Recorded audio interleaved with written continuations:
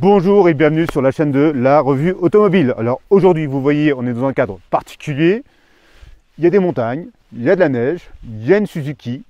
Tout ça pourquoi? Bah Pour vivre deux jours avec la grande Odyssée. Qu'est-ce que la grande Odyssée? C'est la fameuse course de chiens de traîneau, les fameux mushers qui les pilotent à travers tout un parcours semé d'embûches et tout cela pendant plus d'une semaine.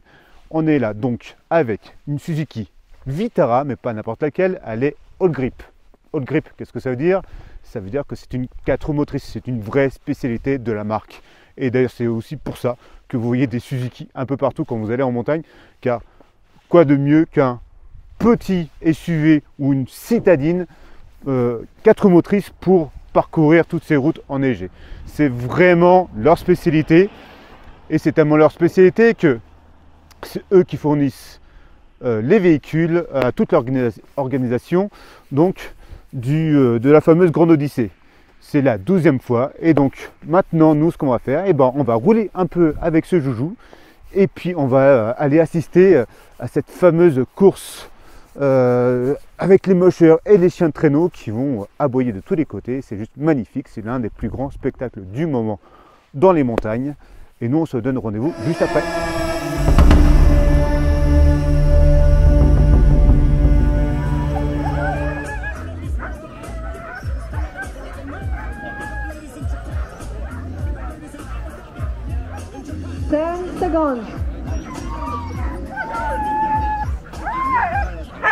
Four, three, two, one, go!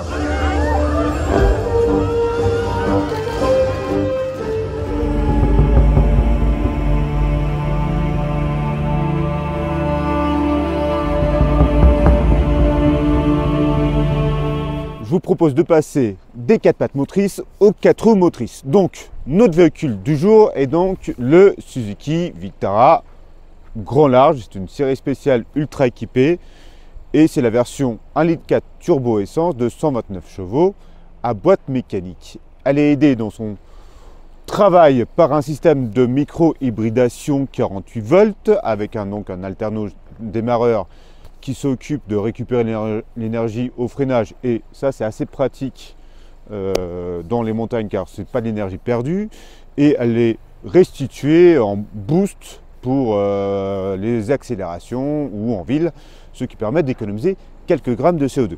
Mais le plus intéressant, on est là surtout pour ça, c'est une version traction intégrale, une vraie traction intégrale, donc avec un répartiteur de couple qui soit à l'avant ou à l'arrière, et ça dépend des fonctions. Mais pour cela, on a le droit à un petit bouton qui nous permet de maîtriser toutes ces fonctions. Alors je vous propose d'aller faire un petit tour à l'intérieur.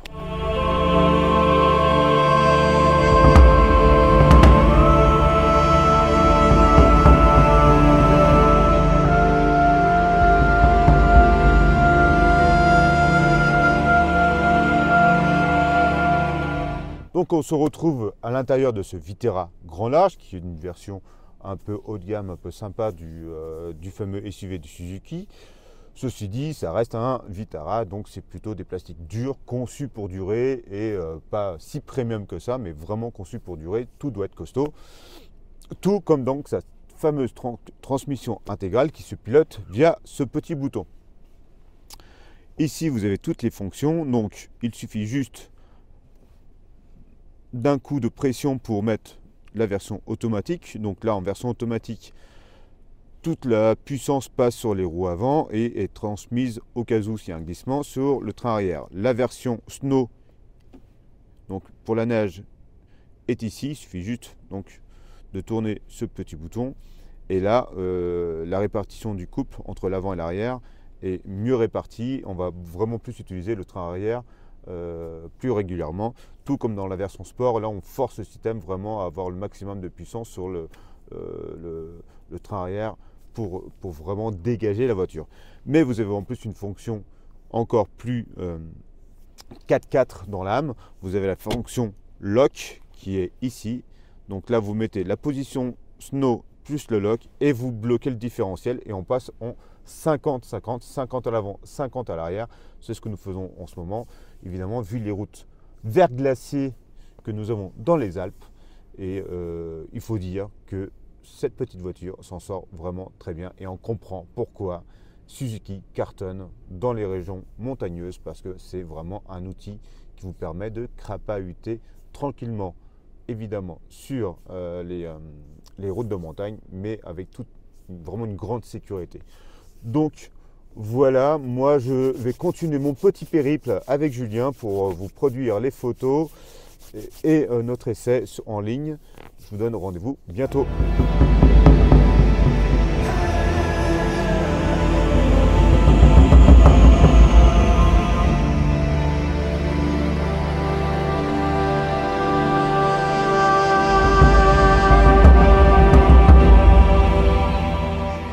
Donc après ces fameuses aventures avec le Suzuki Vita All Grip, sachez que dans la gamme Suzuki, il y a bien d'autres modèles avec la traction intégrale, dont le haut de gamme, le Suzuki E-Cross. Lui, c'est un hybride rechargeable et donc il dispose à 100% des cas du fameux système de propulsion à 4 roues motrices de la gamme. Évidemment, là on a la couleur gris, mais on peut aussi l'avoir en bordeaux super intéressant, n'est-ce pas? Non, ce qui est plus intéressant, c'est de voir qu'on passe hop, une gamme en dessous dans la gamme des SUV, et là on arrive sur le S-Cross. Le S-Cross, donc c'est un SUV compact urbain, donc une légère gamme au-dessus du Vitara, et lui aussi est équipé du système de traction intégrale de la marque Suzuki. On continue, on change de couleur, un S-Cross orange, c'est pas tant d'intérêt que ça. On arrive sur notre fameux Vitara grip. Alors là, ici, là, vous avez en version fantôme bah, une Suzuki Swift jaune magnifique qui est en traction intégrale. Bon, vous l'avez pas? Ouais, non non plus, elle est partie. Il y a des méchants comme ça, des confrères qui nous s'amusent à faire des petites blagues. Et le dernier, et qui est peut-être le plus mignon d'entre tous, le fameux Ignis SUV urbain d'une toute petite taille. Et lui aussi est en 4 motrices. C'est simple, il a plus de concurrents. Donc si vous avez besoin d'une traction intégrale et d'un petit gabarit, bah, pas de choix, vous devez aller chez Suzuki. Donc nous on se retrouve bientôt sur la chaîne de la revue automobile pour de nouvelles aventures. Mais là il fait trop froid, je m'en vais.